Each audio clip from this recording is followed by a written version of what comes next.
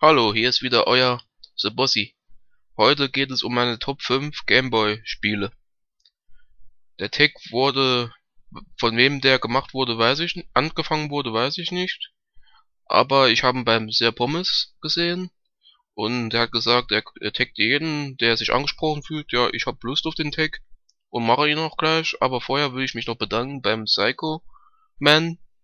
Der hat mir einen schönen Kanalbanner für meinen Kanal gemacht habe ich auch schon verwendet, ist auch schon online. Und ja, ich habe ihn in der Infobox stehen.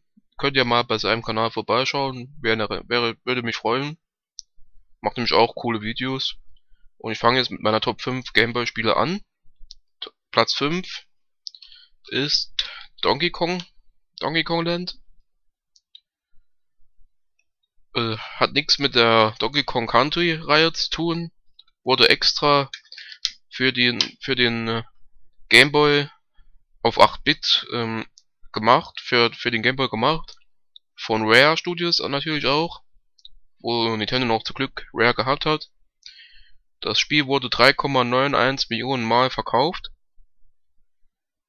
Das, die, die Story geht darum, dass Cranky Kong äh, behauptet, äh, äh, er hätte bei Donkey Kong County nur Glück gehabt, Donkey Kong wegen der guten Grafik und deswegen hätte sich das Spiel so gut verkauft. Und da wollte Donkey Kong halt äh, es beweisen, dass er auch auf 8-Bit sich gut verkauft und deswegen macht er das 8-Bit-Abenteuer. Ja, aber meistens ist die Story bei Donkey Kong eigentlich nicht so wichtig. Meistens werden Bananen geklaut oder sowas witzig ist halt immer. Platz 4 ist bei mir mein erstes Gameboy-Spiel. Das ist Aladdin. Gibt's auch für den Super Nintendo. Das ist halt die Gameboy-Variante. Ich habe auch, ich habe auch, äh, ich habe auch die äh, Super Nintendo-Variante. Habe aber mehr den Gameboy, Gameboy-Variante gespielt, weil ich habe damals den Gameboy geschenkt bekommen mit äh, den Classic Gameboy in, in Rot und Aladdin dazu geschenkt bekommen, habe ich natürlich rauf und runter gezockt ist natürlich die schöne Disney-Musik drauf aus dem Film Aladdin. Äh, ist auf allen Fällen sich lohnenswert, das so Spiel zu kaufen und so spielen, wenn ihr es noch nicht habt. Platz 3 ist bei mir Kirby's Dreamland. Ja, allein die Musik ist super gut und Kirby's Dreamland hat sich 1,7 Millionen Mal verkauft. Bei Aladdin habe ich leider nicht rausgefunden. Kirby's Dreamland ist natürlich die Musikklasse auch und das Spielverhältnis.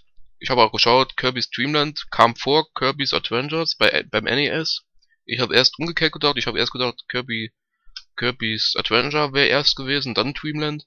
Dreamland kam 92 und Adventures kam 93.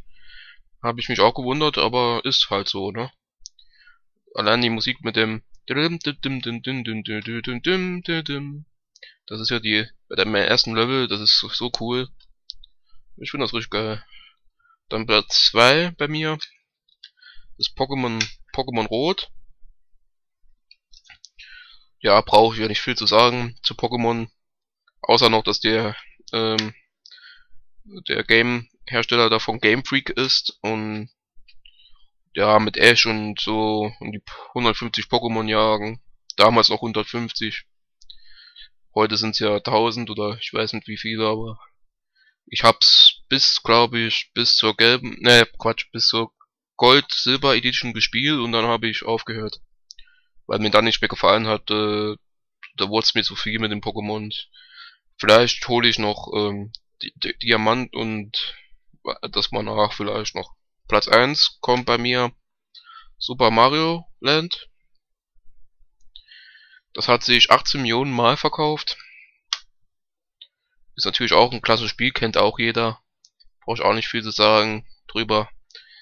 Muss man halt mit Mario paar Level, wie immer, paar Gumbas platt springen und halt diesmal glaube ich Daisy retten, nicht Peach. Und ja, ich muss noch zwei taggen. Ich tagge einmal Slane McGraw, also der Tommy, und Jackass Number One tagge ich noch. Ich hoffe, ihr zwei macht mit. Ich schreibe euch auch noch an per PN. Das war's dann für heute.